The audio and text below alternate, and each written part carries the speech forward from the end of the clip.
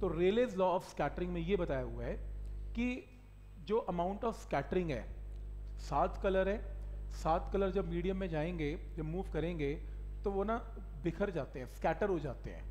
क्योंकि मीडियम के अंदर पार्टिकल्स हैं और पार्टिकल से टकरा के लाइट स्कैटर होती है। तो अमाउंट ऑफ़ जो स्कैटरिंग है that is inversely proportional to उस लाइट की wavelength raise to power four जिस लाइट की वेवलेंथ कम है, उसकी स्कैटरिंग ज़्यादा है। और जिसकी वेवलेंथ ज़्यादा है, उसकी स्कैटरिंग कम है। तो रेड कलर की वेवलेंथ सबसे ज़्यादा है। तो रेड कलर की स्कैटरिंग सबसे कम है।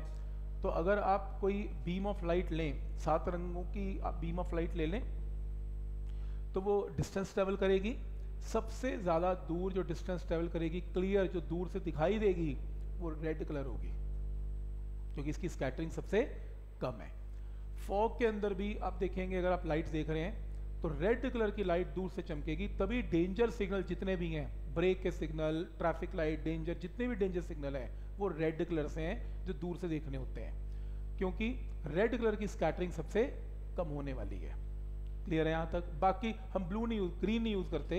इनकी वो तो ठीक है डिफ्रेंशिएट करने के लिए अलग कलर यूज़ करते हैं। पर डेंजर के लिए हम यू, यूज़ करते हैं रेड क्योंकि इसकी स्कैटरिंग सबसे कम रहती है।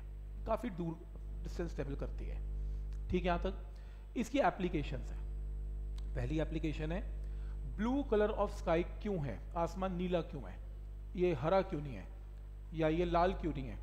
तो दिन में ये नीला इसलिए है क्योंकि जब वाइट लाइट आती है, हमारे एटमोसफेयर में पार्टिकल से टकरा के सात के सात कलर स्कैटर हो जाते हैं, बिखरना शुरू हो जाते हैं।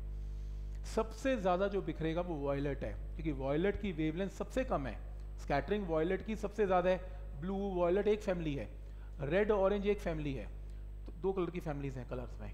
तो वॉयलेट की जो वेवलेंथ है सबसे कम है तो स्कैटरिंग सबसे ज़्यादा है। बाकी कलर नहीं स्कैटर हो पाते तो वो इतना फैल जाता है कि बाकी कलर छुप जाते हैं, वो सीधा ट्रेवल करते हैं और ये फैल जाता है स्कैटर हो जाता है तो स्काई हमें ब्लू नज़र आता है। स्कैटरिंग सबसे ज़्यादा है तो ये बिखरता जाता है। अब सुबह और शाम ऐसा नहीं होता। सुबह शाम आसमान फीका हो जाता है और रेड ऑरेंज लाइंस दिखती हैं। सनसेट देखो, कहीं भी देखो तो ऑरेंज कलर का हो जाता है ऑरेंज रेड ऐसा क्यों? वो इसलिए सुबह और शाम लाइट ने कम डिस्टेंस दिन में लाइट ने कम डिस्टेंस ट्रेवल करना है, सुबह और शाम लाइट ने ज़्यादा डिस्टेंस ट्रेवल करना है। तो वॉयलेट की स्कैटरिंग तो हर, चाहे सुबह हो, चाहे शाम हो, कभी भी हो, ज़्यादा ही होनी है। पर सुबह और शाम ये स्कैटरिंग इतनी ज़्यादा हो जाती है, इतनी ज़्यादा कि लाइट फीकी हो जाती है कलर ही फीका हो जाता है। जैसे आप पेंट ब्रश लो ना, हल्का सा ब्लू कलर लो, कोई भी कलर लो पेंट ब्रश तो छोटा स्पॉट बनाना एकदम क्लियर दिखेगा। और बड़ा बनाना है पेंट तो है नहीं उसमें, वो स्कैटर कर रहे हो तो फीका हो जाएगा। और बड़ा बनाना है वाइट ही हो जाएगा। बिल्कुल स्कैटर फीका हो जाएगा, इतना फैल जाएगा, बचेगा ही नहीं। तो लाइट वॉयलेट ही स्कैटर हो रही है। बाकी कलर छुपे हुए उसमें दिखते हैं लाइंस की फॉर्म में। तभी तो ऑरेंज और रेड की फैमिली दिखनी स्टार्ट हो जाती है लाइंस की फॉर्म में, क्योंकि उनकी स्कैटरिंग कम होती है और वॉयलेट इतना स्कैटर हो चुका है ज़्यादा दूरी की वजह से कि वो दिखना ही बंद हो जाता है, फीका हो जाता है और दिन में नहीं हो पाता। दिन में स्कैटरिंग सुबह शाम वॉलेट की हो रही है। लेकिन इसमें वो छुपा लेता है, इसमें छुपा नहीं पाता बाकी कलर्स को। तो ये इसकी एक्सप्लेनेशन है। डेंजर सिग्नल रेड है, बता दिया मैंने इसलिए। ठीक है यहाँ तक?